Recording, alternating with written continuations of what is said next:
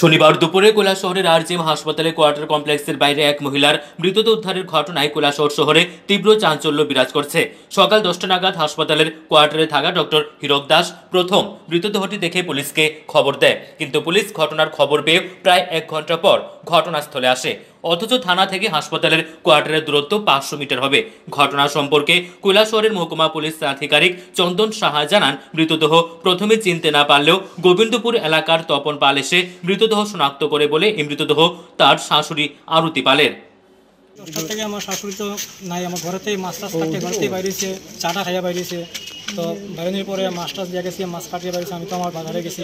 বাজার থেকে আইসি আবার পরে আমার মিসেস তো অন্য কোনো কাজে ব্যস্ত। খাওয়ার টাইমে তো নাই মা নাই তখন আমার মিসেস তার বড় বোনের বাড়িতে ফোন করছে যে দিদি মা তোমার বাড়িতে গেছে নি? দিদি কইছে না মা তোমাদের বাড়িতে আয় নাই। তখন ওই ওই টাইমের ছোটো মেয়ে আবার ফোন করছে তাই জেঠার বাড়িতে ফোন করছে আবার কাকুর বাড়িতে ফোন করছে এই নিখোঁজের পরে কি থানা ডায়েরি করছ? থানা ডায়েরি করছি সব বিকাল সব আমরা নিজে প্রাথমিক সব পূজাগুজি করার পরে গিয়ে থানাতে ডায়েরি করছি বিকালবেলা। তো এই এখন যে উদ্ধার হয়েছে এটা কি আপনার শাশুড়ির? আমার শাশুড়ি এখন চিনতে পারছি হাতে সোনার ছবি দেখিয়ে সত্তর বছরের আরতি পাল পনেরো অক্টোবর সকাল দশটায় বাড়ি থেকে বের হয়ে বাজারে যাওয়ার পর থেকে আর বাড়িতে ফেরেনি। পনেরো অক্টোবর বিকেলে তপন পাল কৈলাসর থানায় নিখোঁজ ডায়েরিও করেছিল। Bureau report হল্লাবোর